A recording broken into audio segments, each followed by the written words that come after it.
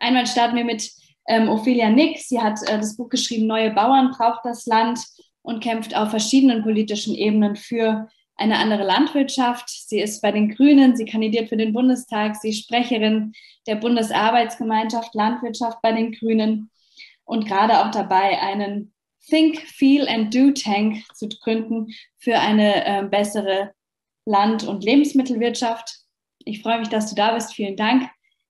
Ähm, dann haben wir Tobias Kaye hier bei uns, äh, live zugeschaltet aus Portugal, wo er auch gerade ähm, ordentlich den Boden umwühlt.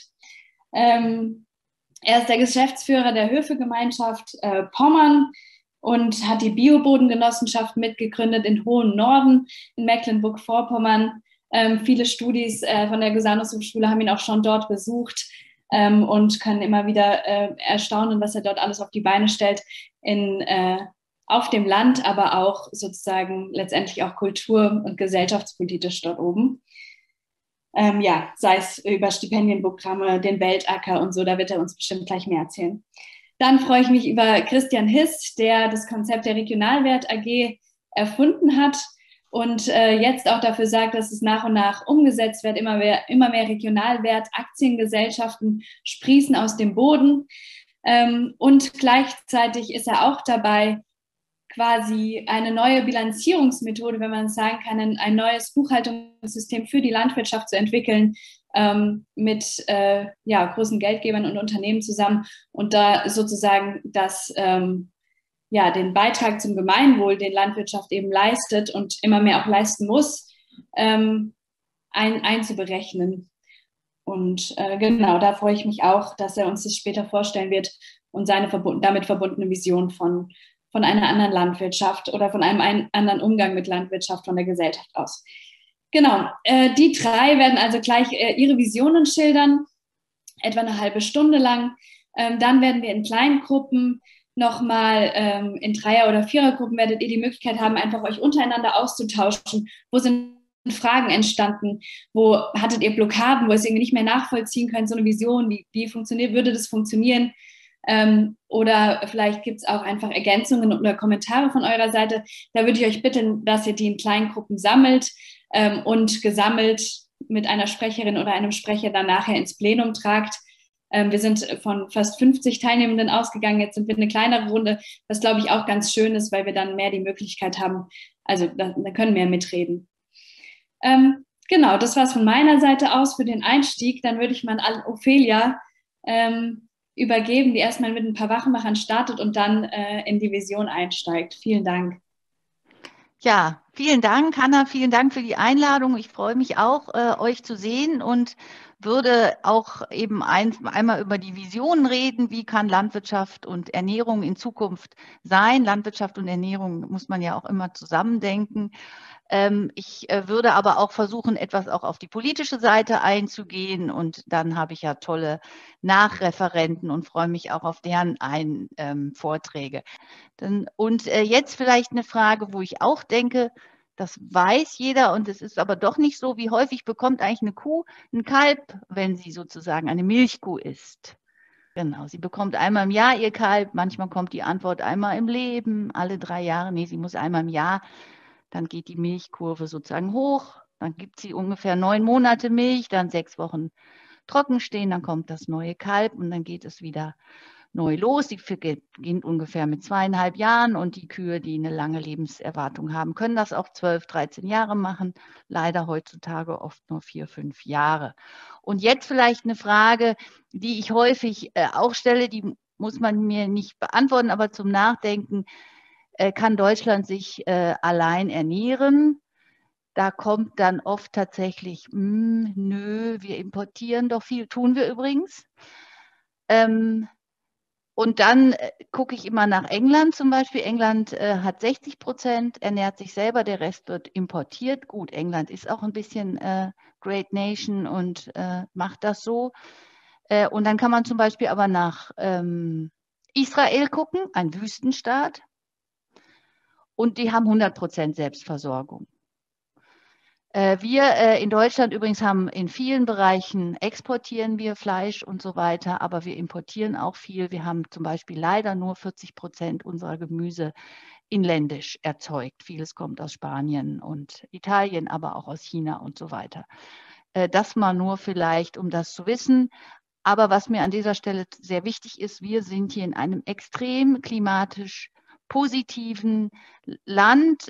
Ich meine, ich bin zwar hier aus Wuppertal zugeschaltet, wir hatten es jetzt nicht so lustig die letzten Tage, aber grundsätzlich klimatisch sehr ausgewogenes äh, Land und ganz tolle Böden. Das heißt, es wäre für Deutschland überhaupt kein Problem, sich selbst zu ernähren, beziehungsweise man könnte es äh, kann, kann auch Teile der Welt miternähren, aber wie an China, äh, wie an äh, Israel zu sehen, auch Wüstenstaaten können sich selber ernähren und das ist auch vielleicht das, was ganz wichtig ist. Es liegt an uns Menschen, so wie wir Landwirtschaft und Ernährung betreiben, können wir uns gut und richtig ernähren.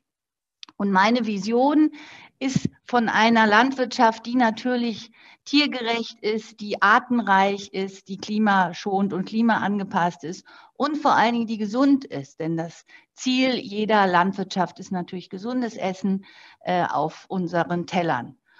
Und so betreiben wir das halt im Moment nicht. Tobias wird nachher vom Weltacker berichten und wird eben auch darstellen, dass wir uns im Moment so ernähren, vor allem die westlichen Länder, dass wir eben mehrere Planeten meinen zur Verfügung zu haben. Und das funktioniert natürlich auf Dauer nicht. Äh, und da können wir aber, und das ist auch das, was, wenn man in die Politik geht, auf der einen Seite verzweifelt macht, auf der anderen Seite sehr positiv stimmt. Wir können es als Menschen wirklich anders und viel besser. Wir können gut Landwirtschaft betreiben, wir können das klimaschonend machen, wir können eine reiche Artenvielfalt haben und das machen. Und man stellt sich doch die Frage, und das finde ich eben spannend dann auch hier in der Runde, wieso tun wir das eigentlich nicht? Ähm, die Landwirtschaft wird sich verändern in den nächsten Jahren, muss sich verändern in den nächsten Jahren. Und was ich aber in allen Diskussionen, auch wenn man gerade den technischen Ansatz nimmt, den ich jetzt gar nicht hier verurteilen möchte, aber Clean Meat ist sicherlich schon äh, gehört worden oder äh, künstliches Eigelb oder den Insektenburger ähm, und so weiter oder neues Getreide, gentechnisch verändertes und was auch immer man sich ausdenkt. Im Bewusstsein müssen wir alle haben, wir greifen immer auf 12.000 Jahre Zivil, äh, also Geschichte der Menschheit und Sesshaftigwerdung der Menschheit zurück. Und jedes Korn, was neu gezüchtet wird, auch bei BASF, Bayer und Co., greift immer auf diese Urgeschichte, diese Zivilisationsleistung von uns Menschen zurück jedes Huhn, was neu gezüchtet wird.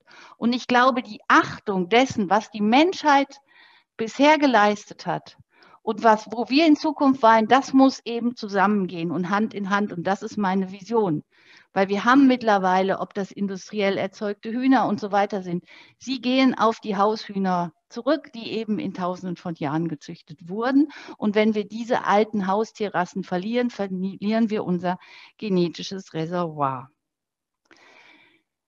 Ja, jetzt vielleicht äh, würde ich auch mit Blick auf die Zeit und dass meine Nachredner auch einige Konzepte sagen, wie man es dann eben gut machen kann. Äh, vielleicht auch, wieso äh, wird eigentlich, ähm, wieso verhalten wir uns nicht so nach dem, wie wir es wollen? Und Hanna, du promovierst dazu ja auch, das finde ich ja dann auch nochmal sehr spannend.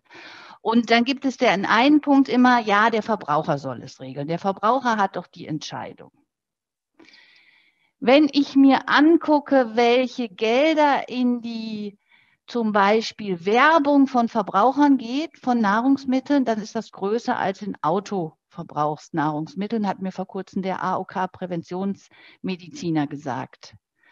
Äh, das heißt, die Lobbybranche der Ernährung ist sehr stark mit Werbemitteln daran, Menschen eben dahin zu ich sage es jetzt mal böse, manipulieren, was sie essen und was auf ihre Teller kommt.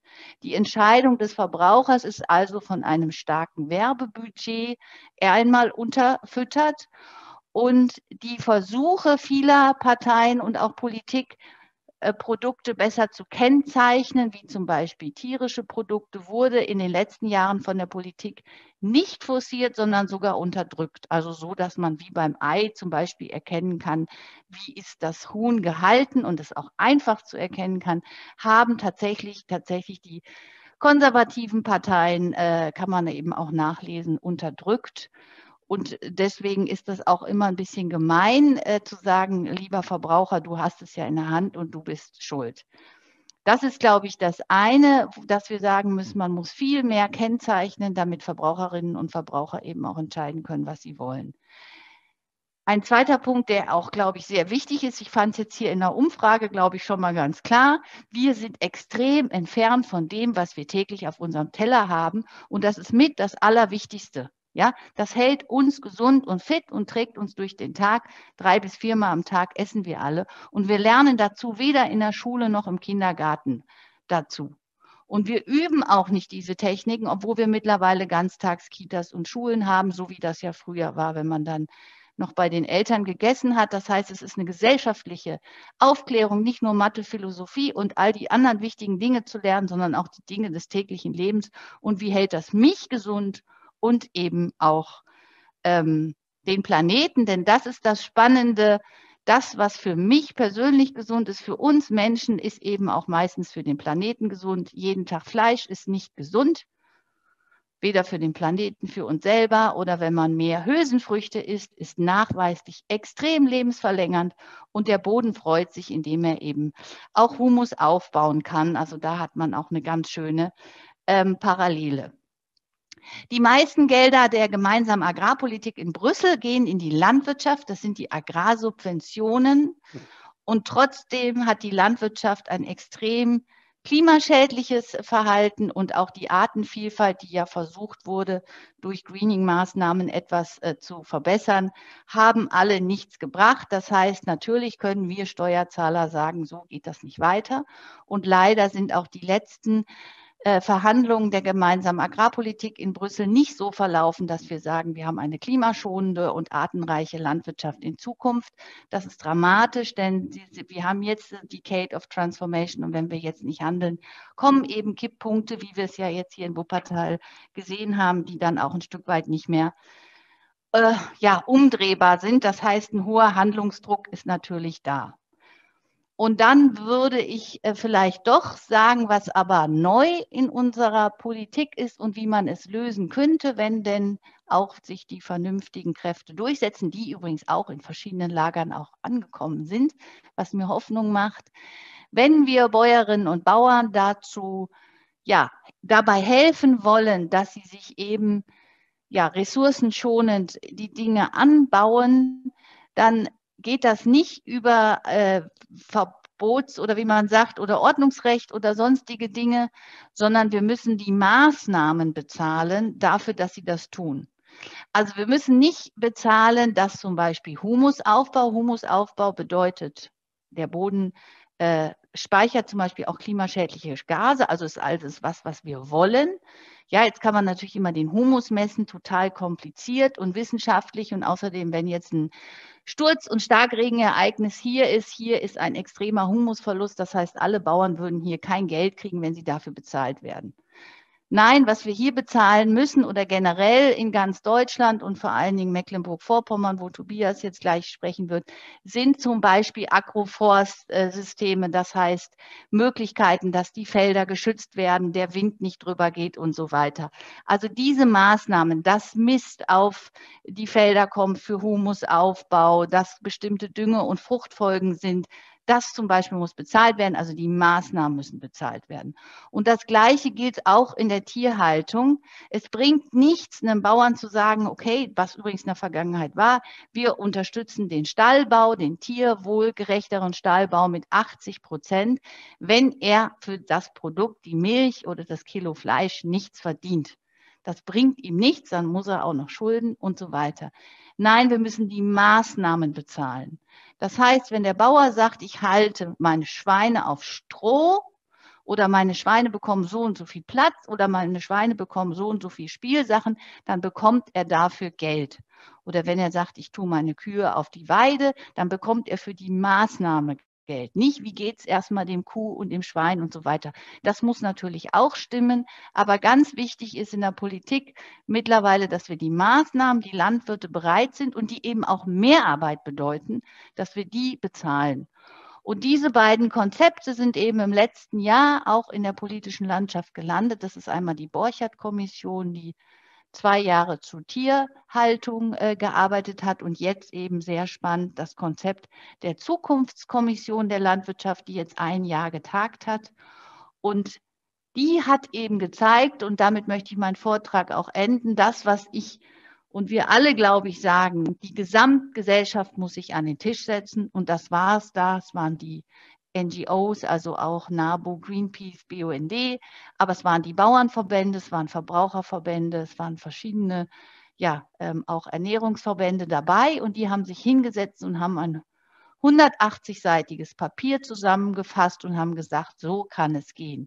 Vielleicht nicht ganz so extrem, wie es sich die Naturschutzverbände wünschen, aber auf jeden Fall sehr klar in die Richtung, wie ich mir Landwirtschaft vorstelle, eine Landwirtschaft, die wirklich ihre Ressourcen achtet und äh, dann trotzdem wunderbar Lebensmittel erzeugt. Und damit will ich auch enden. Wir können Landwirtschaft, und das ist mir total wichtig, wir können Landwirtschaft sehr gut betreiben. Wir Menschen können das und wir sehen viele Orte der Welt, wo das eben geht. Da ist ein Artenreichtum, die Landwirtschaft gibt uns viel, die Natur gibt uns viel.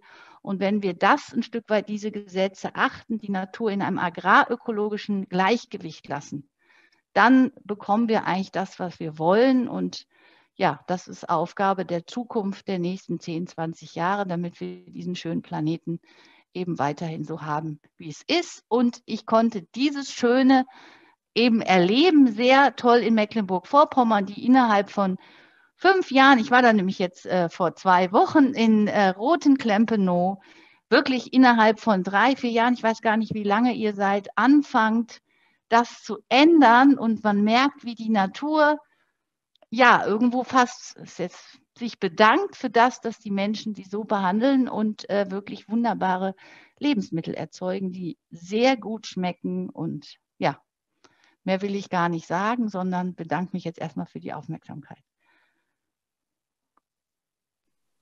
Ja, danke, Ophelia. Ich glaube, ich muss eigentlich nichts mehr zur Überleitung sagen. Du hast das schon sehr gut gemacht.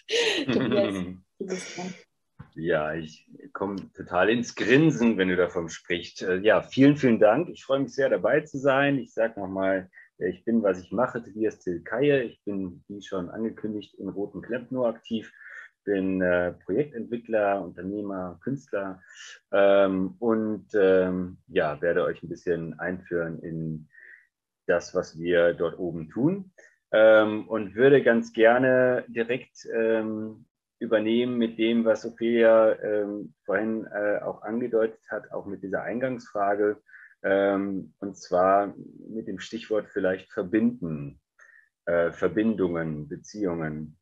Ähm, Vielleicht nur ganz kurz vorweg, wer kennt die Bio-Bodengenossenschaft? Einmal vielleicht Hand heben, dass man das so, dann weiß ich nur ungefähr. Ja, vielleicht sage ich noch mal ganz kurz was dazu. Okay. Ähm, also in, ich würde gerne mit einem Beispiel anfangen, was vielleicht deutlich macht, ähm, aus welcher Problematik wir her oder Herausforderung wir herkommen.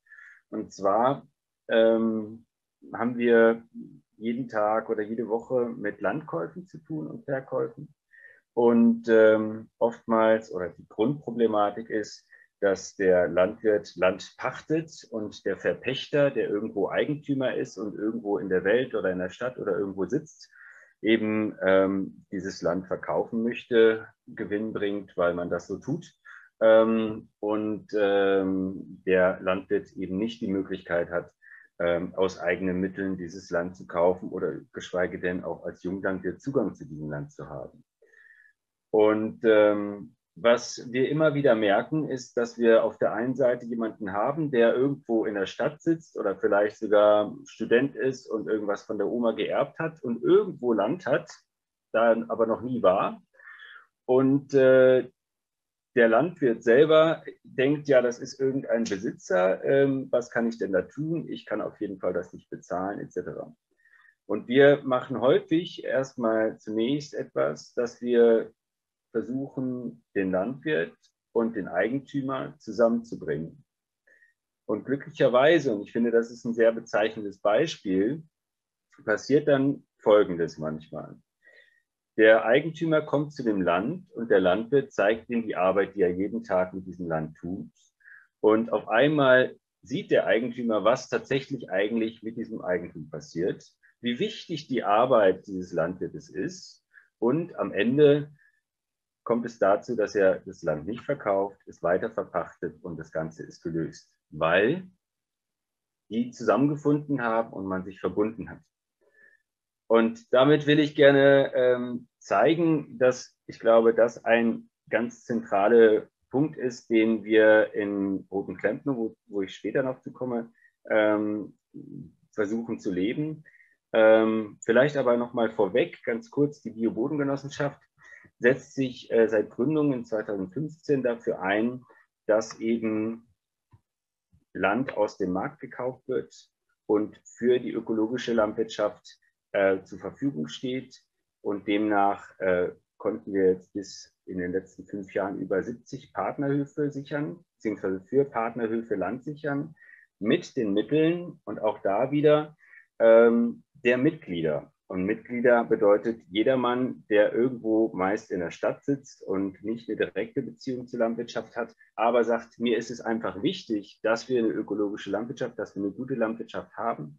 Wir haben mittlerweile auch sogar sehr viele Babys, die Mitglied sind, weil eben die Großeltern sagen, ich möchte, dass mein Enkelkind noch mal ein bisschen Stück gesunden Boden hat.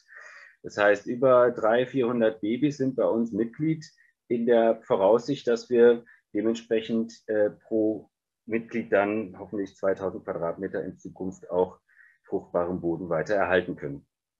Und das schöne Bild, äh, was Bioboden als Geschichte für mich eben auch bedeutet, ist, dass wir eben eine rein sinngetriebene Gemeinschaftsaktion machen, indem wir sagen,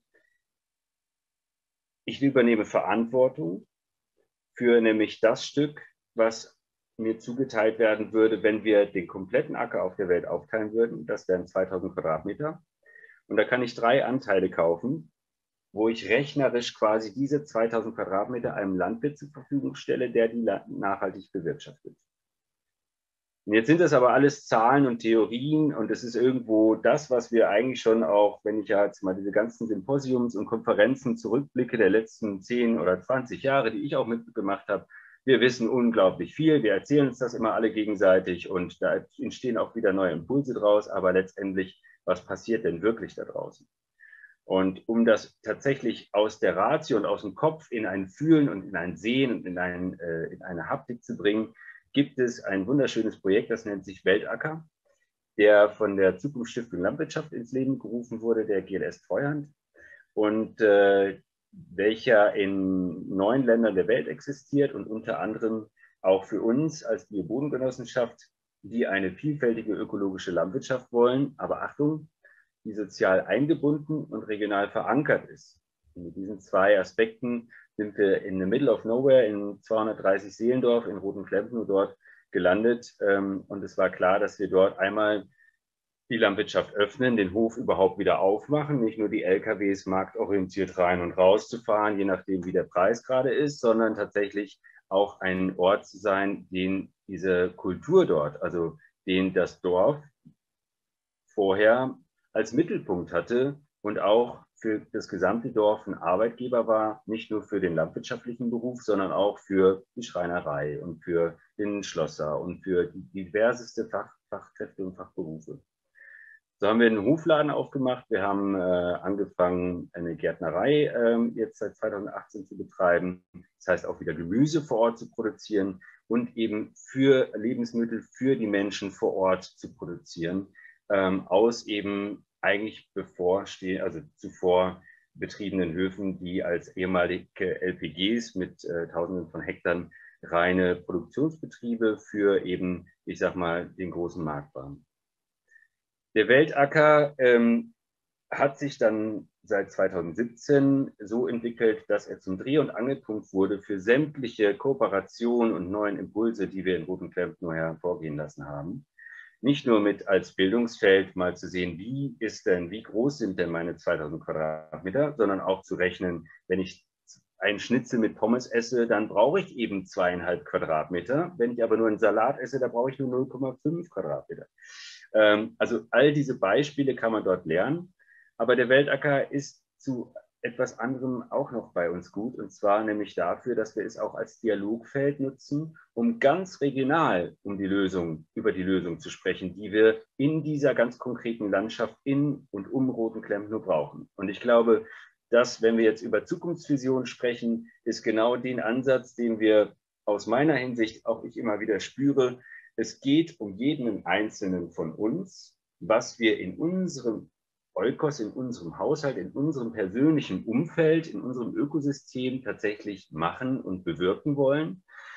Es geht um jeden Einzelnen von uns, wie wir auf unseren, und zwar den liebe, liebevoll geführten Haushalt, ja, den, den, wo wir im Grunde genommen eigentlich von Kultur sprechen und von Liebevolligkeit und von einer Gesellschaft, die wir vielleicht wollen. Da heraus mit Boden zu arbeiten und da heraus äh, mit Pflanzen und mit der Natur zu arbeiten, bringt uns in ein viel ganzheitlicheres Bild der Betrachtung. Und zwar nicht nur, und ich glaube, das wird auch die Politik in Zukunft äh, beschäftigen müssen, mit dem Ressort Landwirtschaft und Naturschutz und Ökonomie und Wasserwirtschaft und was auch immer, sondern wir haben mit dem Weltacker auch unterschiedliche Dialogformate geschaffen, zum Beispiel den Landschaftsspaziergang, wo wir mit dem Landwirt, mit dem Trinkwasserverband, mit dem Boden-, Boden und, und, und äh, Entwässerungsgräbenverband, ähm, mit den einzelnen Menschen in die Landschaft gehen und über diese konkrete Landschaft sprechen und auf einmal merken, dass der Trinkwasserverband mit dem Landwirt, mit dem Bürgermeister und mit den Mineralquellen unglaublich viel sich zu sagen haben was sie aber nicht tun, weil wir tatsächlich aus unserem bisherigen und aus unserer Historie heraus einfach uns daran gewöhnt haben, immer mehr uns zu individualisieren und in unserer eigenen Blase zu denken und im eigenen Ressort die Dinge zu verhandeln. Und deswegen, ich habe jetzt kein Zeitgefühl gehabt, aber ich will gerne mit einem Satz enden, den ich hier in Portugal gelernt habe, mit einem Kooperationsprojekt hier wo wir im Grunde genommen jetzt in den nächsten Schritt gehen, Stipendien auszuschreiben für Menschen, die begeistert sind, die sich schon reingearbeitet haben in irgendein Thema und das weiter vertiefen und vor allen Dingen einzelne Orte und Akteure helfen wollen, diese Transformation weiter nach vorne zu bringen.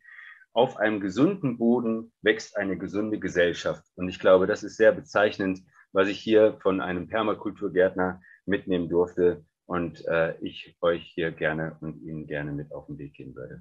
Vielen Dank. Und jetzt gebe ich weiter an den Mann, der für mich auf jeden Fall immer wieder ein Beispiel ist, äh, dass ich sagen kann, Leute, wir müssen komplett unsere Ökonomie über den Haufen werfen und neu denken, beziehungsweise neue Möglichkeiten überhaupt der Erfassung von dem, was Wertigkeit bedeutet, ähm, nachgehen. Und Christian Hiss hat schon jetzt äh, ja seit eh und je ähm, da die äh, neuen Impulse in dieser Richtung gegeben und ich bin sehr froh, äh, an dich weitergeben zu dürfen und dass wir hier zusammen auf dem Podium sind. Danke. Ja, vielen Dank, Tobias. Soll er gleich äh, weitermachen, Hanna? Am besten, oder? Ja. Ja, vielen Dank. Ähm, erstens für die Einladung, zweitens auch für die Vorschusslorbeeren und die Lorbeeren. Ja, mein Name ist, äh, also ich trage sehr gerne bei ähm, zu dieser Runde und freue mich sehr über die Einladung und auch, dass ich mit Ophelia und mit Tobias da ähm, zusammen beitragen darf. Und äh, ja, mein Name ist Christian Hess, ich komme aus dem Südwesten Deutschlands, äh, aus der Nähe von Freiburg am Kaiserstuhl, Eichstätten am Kaiserstuhl, die Wiege des Ökolandbaus in Deutschland. Mein Vater hat 1950 mit biologisch-dynamischem Landbau angefangen und den Betrieb umgestellt. Ähm, auch interessant immer wieder für junge Leute. Er hat die Idee des ökologischen Landbaus aus, englischer Kriegsgefangenschaft mit nach ähm, in das Dorf gebracht. Äh, Sir Albert Howard war ein äh, englischer Agrarökonom, der schon um die vorletzte Jahrhundertwende in Indien über Bodenfruchtbarkeit geforscht hat. Und das hat ihn beeindruckt äh, es haben gleich ein paar Kollegen in diesem kleinen Dorf mit 3000 Einwohnern im Südwesten an der französisch-schweizer Grenze äh, mit umgestellt. Wir hatten 1960 acht Demeterbetriebe bei uns im Dorf. War bundesweit einmalig. Und in dieser äh, Häufigkeit. Und äh, ich bin eben da in, der, in dieser biologisch-dynamischen Landwirtschaft aufgewachsen, habe sehr jung mit 21 Jahren einen eigenen Betrieb gegründet, eine Gemüsegärtnerei, habe die aufgebaut und habe in den 90er Jahren sehr viel, sehr vielfältig gearbeitet. Also ich hatte immer das Leitbild des äh, landwirtschaftlichen Organismus, des Hoforganismus. Ich habe einen Stall gebaut, ich habe ähm, übrigens 70 verschiedene Gemüse angebaut. Ich habe äh, 1992 begonnen, mit eigenem Saatgut äh, zu vermehren und habe Bingenheimer Saatgut AG mit aufgebaut, habe ausgebildet, habe direkt vermarktet, habe pädagogisch, große pädagogische Projekte gemacht und habe dann gemerkt, so Ende der 90er Jahre, er schafft das alles nicht mehr im, Familien, im Familienbetrieb äh, auch mit Mitarbeitern und Arbeitsteilung im Betrieb und, und trotzdem, es ging einfach nicht mehr. Ähm, diese Vielfalt, die an, an sich sinnvoll ist, äh, so einen Organismus aufzubauen im Betrieb, wo alle Bereiche aufeinander aufbauen, übrigens auch betriebswirtschaftlich sinnvoll ist. Ähm, ich komme auch noch ein bisschen aus der alten bäuerlichen Ökonomie, habe das noch mitbekommen hier im Dorf äh, die alte bäuerliche Ökonomie war eine Selbstversorgerökonomie, eine Subsistenzwirtschaft, die äh, als ökonomischen Zweck hatte, die Menschen einer Familie, einer sozialen Einheit, Familie zu versorgen und nicht den Markt zu bedienen. Markt war dass äh, zum Markt ging man mit den Produkten, die übrig waren, auf gewisse Weise, wenn die eigenen Menschen versorgt waren. Und das war für mich äh, äh immer auch Leitbild. Äh, und ähm, ja, wenn man dann mal 70 Gemüse anbaut und von 30 Gemüse eigenes Saatgut macht und 10 Gemüsesorten auch noch züchtet, dann kommt man irgendwo auch an die Grenze und dann noch einen Stall bauen und äh, hunderte von Schülern auf dem Hof haben, Käserei betreiben, das ging nicht mehr. Und trotzdem wollte ich nicht spezialisieren. Spezialisierung ging mir sozusagen aus betriebswirtschaftlichen Gründen, nicht aus ideellen Gründen, sondern aus äh, betriebswirtschaftlichen Gründen konträr gegen meine Überzeugung. Und ähm, das war vor 20 Jahren. Also da war es relativ einsam, außer Kolleginnen und Kollegen, äh, die das auch gesehen haben, aber auch Demeter-Kollegen und vor allem Bio-Kollegen haben immer gesagt, ja, auch Biolandbau muss sich rechnen. Und ich habe immer gefragt, aber nach, nach welcher Rechnung? was ist die Rechnung? Und das war so eine Kardinalkritik vor 20 Jahren schon an, der, an meiner Biobewegung, die ich ja mit aufgebaut habe im letzten Jahrhundert. So eine, so eine Kardinalkritik, dass zwar ökologisiert wurde und viele, viele tolle Projekte gemacht wurden und echt ein Fortschritt erzielt wurden im ökologischen und äh, aber im betriebswirtschaftlichen und in der Ökonomie haben wir nichts erreicht. Und das haben wir auch gar nicht sozusagen, sind wir gar nicht angegangen, die Ökonomie an sich zu erweitern, so wie, wie wir Landwirtschaft erweitert haben und Landwirtschaft erweitert betrachtet haben. Aber die Ökonomie haben wir übernommen. Und das bedeutet auch ganz banal, die Buchhaltungsprogramme und die Buchhaltungssystematik und die Bilanzierungssystematik im Betrieb haben wir übernommen aus dem konventionellen. Und dann haben wir uns gewundert, ähm, dass, äh, dass sich die Betriebe immer mehr ähm, industrialisieren, auch die Biobetriebe spezialisieren. Und ich habe dann darüber gearbeitet, darüber geforscht und habe versucht, den entscheidenden Treiber zu finden, den entscheidenden Treiber zu finden, äh, was uns Betriebe, ich komme aus dem Blickwinkel des Betriebs, uns die Betriebe immer zwingt.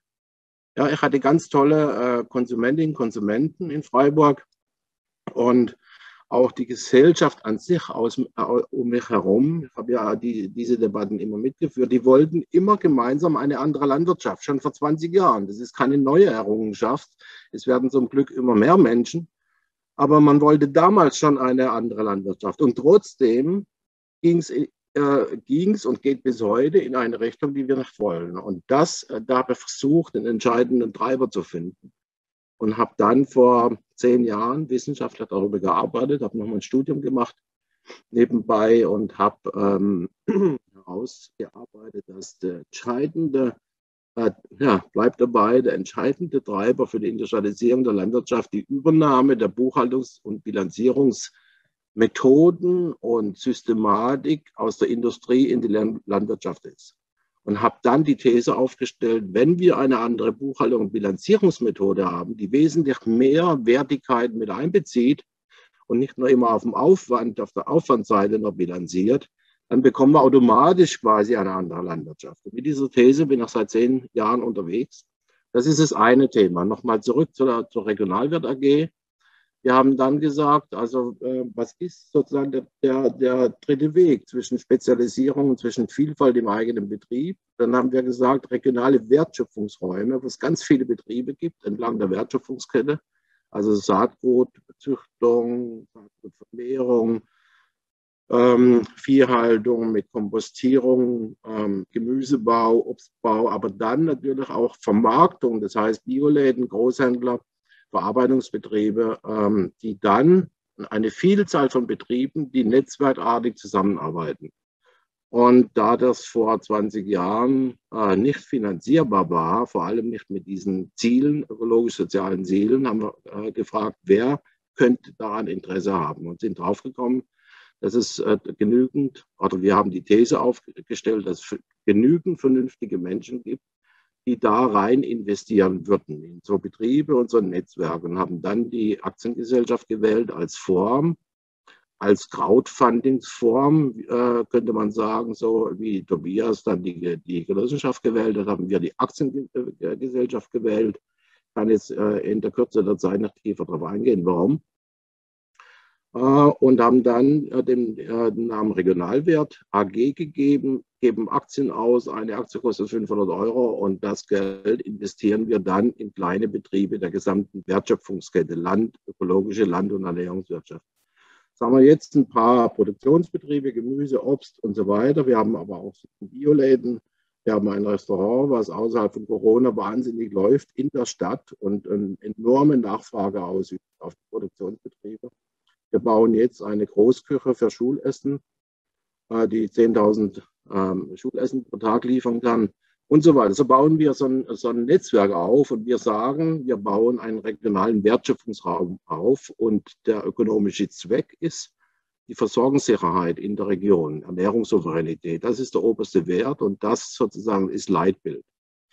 Und dann ähm, braucht man dazu viel Geld. Und so wie ein landwirtschaftlicher Betrieb für die ganzen Maßnahmen, die Ophelia gerade eben gesagt hat, ähm, immer Aufwand und Kosten hat, so braucht man dafür Geld. Und ähm, wir haben gesagt, ähm, vor 15 Jahren bei der Gründung der ersten Regionalwert AG, dass ähm, die Aktionärinnen und Aktionäre, die hier rein investieren, dass wir denen die sozialen und ökologischen Leistungen ähm, der Betriebe, in die sie investiert haben, ganz genau berichten, sehr detailliert berichten. Und sie haben dann die These aufgestellt, wenn wir genau berichten, wäre Leistung gebracht worden und was, was sie die gekostet haben, diese Leistungen, also für Ausbildung, für Bodenfruchtbarkeit, für Biodiversität, für Versorgungssicherheit, dass sie dann, dass diese Aktionäre rein aus der Vernunft und auch aus ihrer ökonomischen Vernunft da mitgehen, auch wenn Geld sozusagen verloren geht auf eine gewisse Art. Und wir haben jetzt 15 Jahre hinter uns in Freiburg, äh, haben ähm, über 4 Millionen Euro eingesammelt, haben dafür haben einen Verlustvortrag, sind ja viele Ökonomen, Ökonomen bei uns äh, hier, haben aber einen Verlustvortrag von 1,5 Millionen Euro. Und die Leute stimmen trotzdem zu in der Hauptversammlung bisher weil sie eben sehen, es ist Vermögen aufgebaut worden. Es ist ähm, Bodenfruchtbarkeit als Betriebsvermögen aufgebaut worden. Es gibt, ähm, wir setzen 75 Prozent samenfeste, Sorten ein. Es sind Dutzende von Lehrlingen ausgebildet äh, worden und so weiter. Und diese Denke, richtig rechnen in der Landwirtschaft, so, ähm, habe ein kleines Buch herausgegeben, kommt eben aus dieser Auseinandersetzung, dass wir falsch bilanzieren. Wir haben quasi jetzt schon auf der Basis einer alten, sag's mal falschen Bilanzierung, eine neue Bilanzierung aufgebaut, indem wir eben äh, die Menschen fragen, ist es euch das wert? Und diese, diese, diese Herangehensweise, dass Nachhaltigkeit in die Bilanz muss, ich sage es jetzt wirklich verkürzt, dass Nachhaltigkeit in die Bilanz von Unternehmen rein muss, sowohl die Risikoseite wie auch die Leistungsseite, das hat dann eben SAP beeindruckt vor vier Jahren. Ihr müsst also diese Softwarefirma. Und ihr müsst euch klar machen, SAP äh, ist weltweit äh, größte Anbieter von äh, Buchhaltungs- und Bilanzierungssoftware für Unternehmen. 80 Prozent der weltweiten Wirtschaftskraft läuft über SAP-Software. Buchhaltungsprogramme und wir sind vor drei Jahren in ein gemeinsames Projekt eingestiegen und wir haben quasi die Methode, die ich entwickelt habe für die Landwirtschaft, richtig rechnen in der Landwirtschaft, anders bilanzieren, jetzt übertragen. Oder wir sind dabei, also prototypisch haben wir es übertragen in SAP-Software und die entwickeln jetzt weiter und man kann davon ausgehen, dass in fünf Jahren ähm, SAP-Software erlaubt, Nachhaltigkeitsrisiken, Nachhaltigkeitsleistungen in der Bilanz von Unternehmen abzubilden wiederzugeben. Das hat mit Landwirtschaft nicht mehr viel zu tun, weil äh, SAP nicht in der Landwirtschaft unterwegs ist.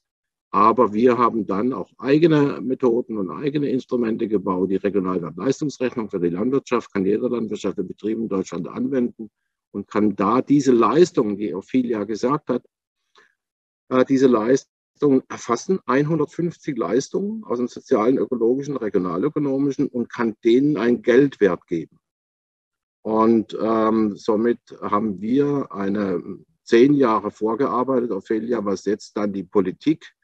Du hast die, Zukunftskommission äh, erwähnt. Wir sind da auch viermal erwähnt als Regionalwert. Das hat mich schon einigermaßen auch, ja, wie soll das sagen, gefreut, gelinde gesagt, dass wir da tatsächlich genannt werden als Beispiel, als Vorbild eben auch zu dieser Leistungserfassung. Ähm, ähm, und äh, sind jetzt dabei, das in Praxis und in Politik und Gesellschaft einzubringen. Und wenn es gut geht, wenn es gut läuft, im Moment sieht es gut aus, dann könnten wir es schaffen, dass die EU, dass die GAP-Mittel ab 2000, was ist das, 28 oder 29 oder so weiter, nach Leistungen vergeben werden und nicht, nicht mehr nach Fläche. Vielleicht so viel von mir. Ja, vielen Dank für das Interesse. Dafür müssen wir alle ja, wählen gehen. Bitte? Tobias, bitte? Dafür müssen wir alle wählen gehen. ja. ja. Keine Wahlkampfveranstaltung hier. Aber ja, es ist bald Bundestagswahl. nee. Ähm, genau. Äh, ja, danke schön. Ich glaube, es greift alles ineinander und ich glaube auch, wie ihr miteinander umgegangen seid. Jetzt während des Workshops war irgendwie ein Selbstläufer. Man sieht, wie ihr zusammenarbeitet schon, ähm, um das möglich zu machen, ähm, auf verschiedenen Ebenen. Also genau, wir haben jetzt einerseits die politische Seite sozusagen von Ophelia ein bisschen abgedeckt. Ne, wir brauchen hier eine Transparenz, eine Kennzeichnung, dann aber auch eine andere Gelderverteilung, neue Agroforstmodelle und auf jeden Fall Bildungsarbeit. Ähm, Tobias hat an der Bildungsarbeit mit angeknüpft mit seinem Weltacker, aber ähm, da geht es auch viel, glaube ich, was ihr macht, um einfach neue Dialogforen ähm, anzubieten und wieder eine Beziehung herzustellen zwischen Eigentum und ähm, Landwirtschaft und äh, genau die Landwirtschaft wieder ähm, ja als auch Kommunikationsort und nicht nur als Produktionsort für den Markt zu etablieren ähm, und eben auch den Ansatz ne, Boden nicht mehr als als ja Produkt zu sehen, das man einfach weiterverkaufen soll, sondern eben als Gemeingut zu organisieren über die Gemeinschaft finanziert und Christian Hiss dann eben nochmal ähm, mit den regionalen Wertschöpfungsräumen wieder eine Beziehung zur Region herzustellen und zwischen den einzelnen ähm, Produzierenden, aber auch Konsumierenden hier wieder eine Beziehung stärker aufzustellen und eben anders zu bilanzieren. Und da schließt sich ja dann der Kreis wieder zum Politischen, die diese andere Bilanzierung dann eben auch finanzieren muss ähm, für, für die Gemeinschaft, die eben davon profitiert.